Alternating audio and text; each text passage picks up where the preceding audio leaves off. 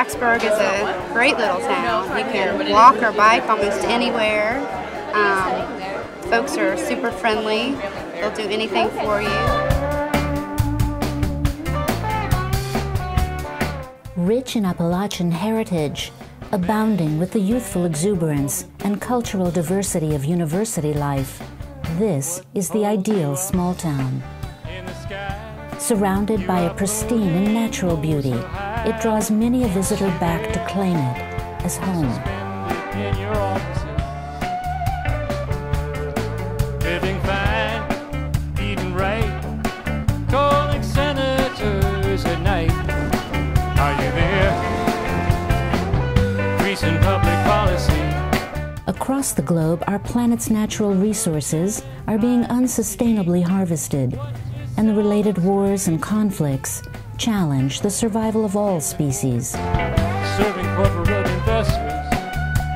No town is an island.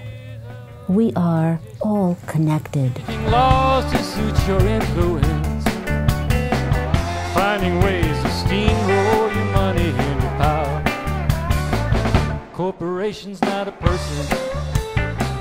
Corporation's not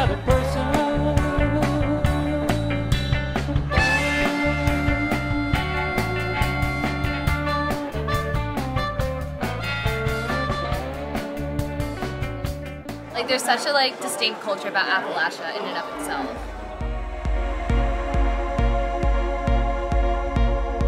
You know, when I first heard about the uh, Mountain Valley Pipeline coming through the area, there, there was concern. As mayor of Blacksburg, it's important for me to learn as much as I can. I did go to one of the informational meetings and uh, heard from a lot of the residents that uh, um, there were potential problems with it. We've discussed it as a council and uh, passed a resolution back in December of 2014 stating a lot of the reasons for council's concern and Blacksburg's concern and asking that the, uh, the permit be denied. We talked about cars, we talked about our first responders, we talked about tourism and that one of the, the big tourist draws for this area is the, the natural beauty. So those are the things that we talked about in our resolution. So council has taken a position on this. From everything I've seen and everything that I've heard is that there really are no local economic benefits. Uh, going to continue traveling, um, there are not going to be a lot of options, if any, for, for local hookups. Most often, it seems like the crews that you you know they used to make these things aren't really that big. We're not talking about employing a, whole lot of people, and they're not necessarily going to be from this area. You know, dirty, dirty money and dirty gas going down the way. And I just I think about everybody's water and wells and families that have children that are getting toxic metals in, into their bath water. The fact that they're bringing it through here and none of it will be for us. If they were going to share along the way to help the needs of people everywhere, it would be understood better. But just to make it get out to the coast to send it to China, I don't appreciate that. But most of it, I'm absolutely sure, will go to ports where they're building port facilities to liquefy the gas and send it to foreign countries because it's costing them on the median about 4.85 dollars per thousand cubic feet. So they can't afford to sell at 2.5 or 2.7. Many of these companies have sold their shale leases because the, the big companies particularly because they know that they, they can't make any money on them. Think one of the, the, uh, the concerns when we talk about building the pipeline and, and its impact, uh, the wide swath that it will take, I mean, I've heard anywhere from 100 to 200 feet, the amount of uh, degradation that goes into uh, you know, the land to, to make that happen, the construction vehicles, uh, so all of those are, are, I think, a concern, a legitimate concern that anybody close to it should have.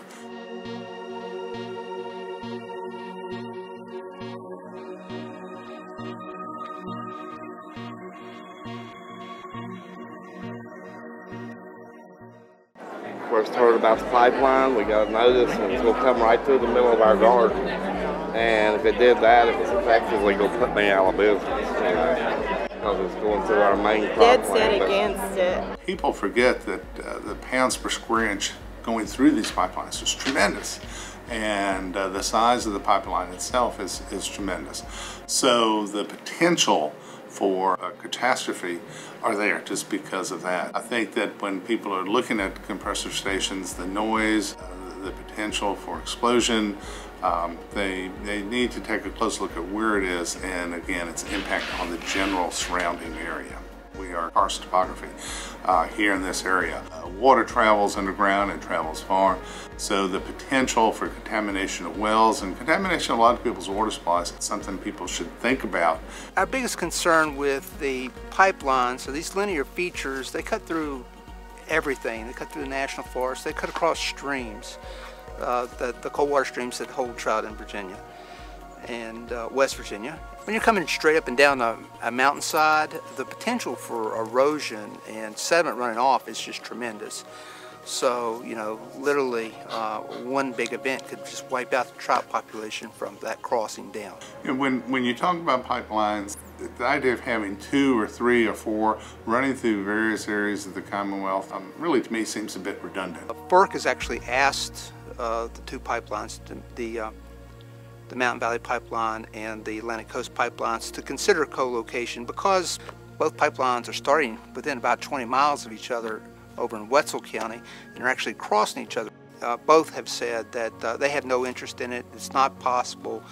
Uh, it would interrupt their construction schedules and, and, many other things. You know, when, when you see at the 4th of July parade, there are a lot of people voicing their opinion. I, I think that that is one of the truly great hallmarks of our country is that people can voice their opinion. They feel always comfortable doing it. You know, every day of the week, we should all be aware of things like this. So 4th of July is just another big event day that we should take a moment and think about where we all came from and how we're all connected and we're all in this together. There's no, there's no time for the pettiness that's going on in our country and our, right now and the horrible, horrible things that are happening. I feel very strongly about that people don't think racism and climate control and things like that aren't an issue. They need to open their eyes. It's a sad time. I agree that the environment is so important, but being able to voice that, being able to be out there, uh, we can't remain silent on anything we all feel very strongly about, and whatever that is.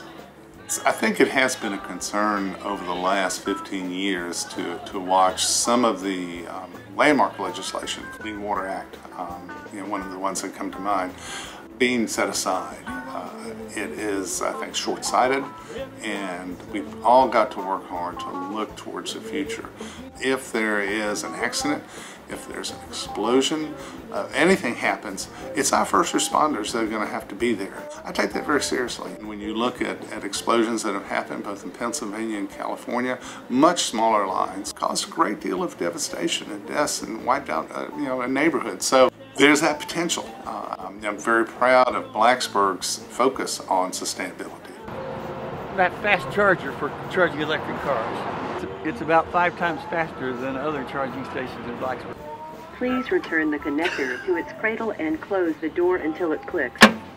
Thank you for using our service. So Drive this safely.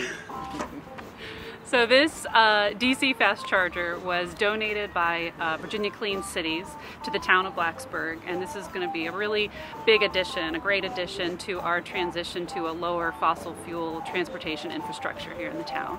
We launched the Solarize Blacksburg initiative in early 2014 and we set as a program goal that we really wanted to double the amount of residential solar in our community.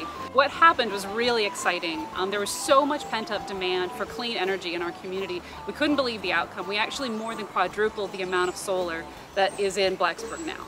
We were even more gratified about what happened across the state. Communities all across the entire state of Virginia took notice of what we were doing and they reached out to us and we said, yeah, we would love for you to launch one of your own. To date, more than 20 other Virginia communities have launched Solarize initiatives of their own. Last I heard, the amount of residential solar has actually doubled across the state.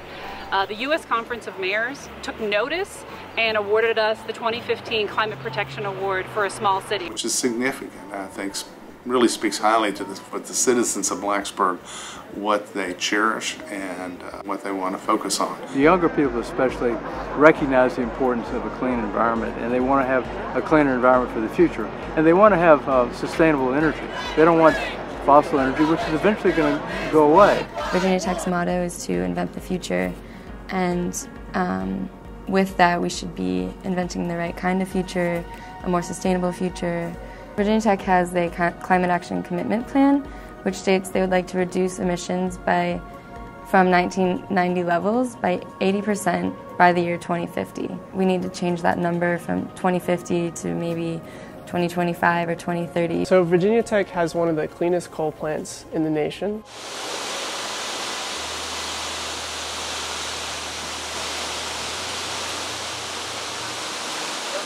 There's still some issues with the proximity of it to some dorms on campus. So we met with President Sands a few times um, in the past year since he started, and that's been a pretty positive experience. He's on board and supports what we're doing. The Students for Clean Energy have an emphasis on research. The first stage of our plan is a solar farm, which, based on our solar analysis and feasibility studies, could provide about 6% of Virginia Tech's current energy demands. And we call it the 30 by 30 plan. Our organization is devoted to the more intangible process of divesting our money from fossil fuels, and Students for Clean Energy is devoted to the more tangible process of removing fossil fuel infrastructure from our campus.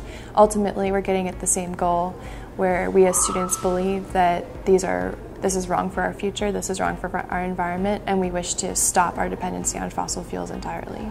Because we have a coal plant on campus, because we have a mining engineering program, we receive lots of funds from fossil fuel companies, not necessarily in a position to divest um, even in the near future, unfortunately, but we're starting to um, begin that dialogue. So, over the past year, year and a half, we've had about a little over 2,000 students sign our petition. We're out on the drill field all the time with our petitions trying to stop people and talk about this.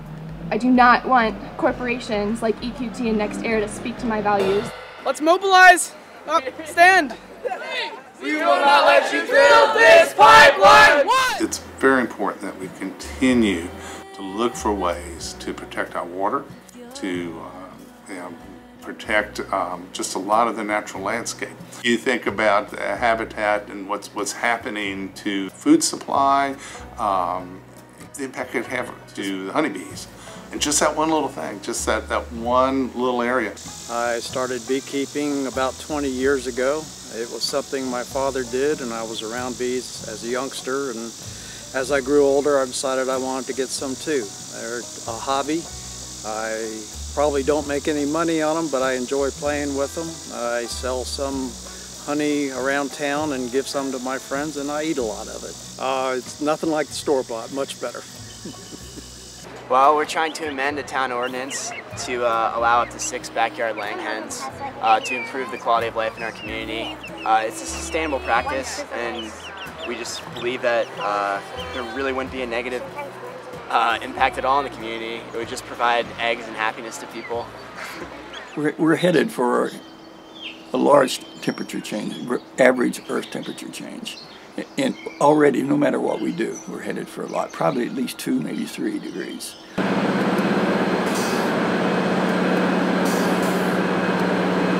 And so you can already see that in the droughts in the West, the droughts in some of the African countries, and uh, Australia, other countries, and the, and the huge rainfalls that occur some places, uh, floods, all this is going to continue. It's going to get worse. The tornadoes, all this is going to get worse if we keep doing this.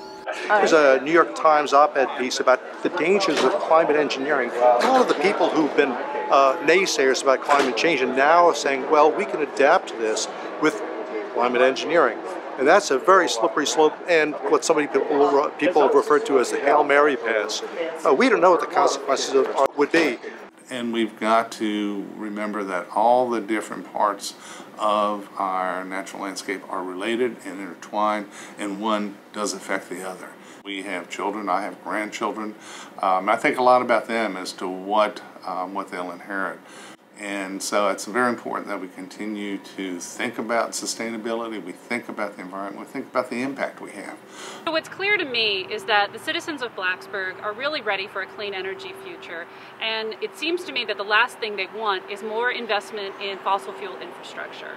We need to protect our environment. This area of Virginia is beautiful. It's known as one of the most scenic, most beautiful areas in, anywhere in the country. In, in recent years, the uh, corporate America has gained much, much too much power. We are an oligopoly now, as a practical matter. Uh, the corporate America is, is, is dictating the policies of our country.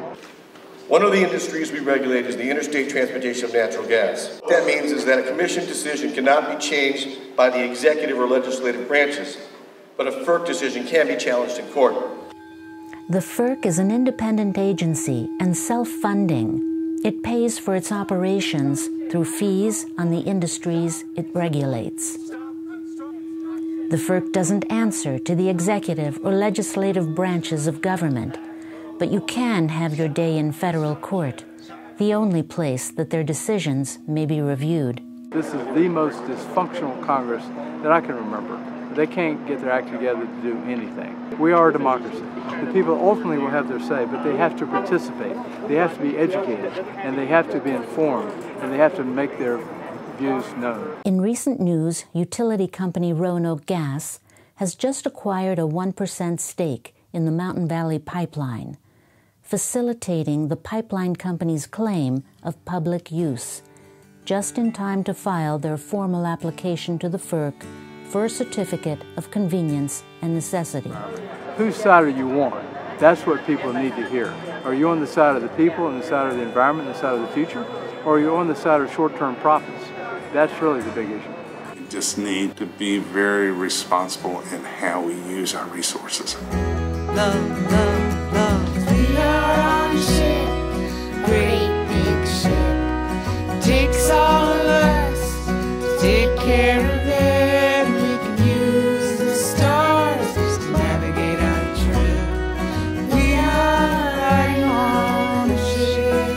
Without an immediate ban on these destructive extractive industries, we are indeed heading for disaster.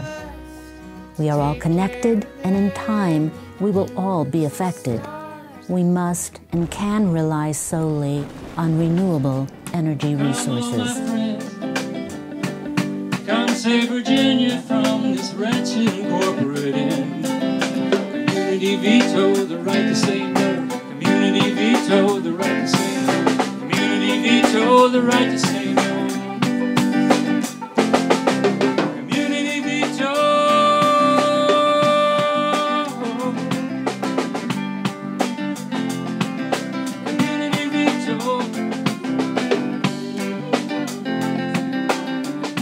Change begins with you and with me, and sharing that change with everyone.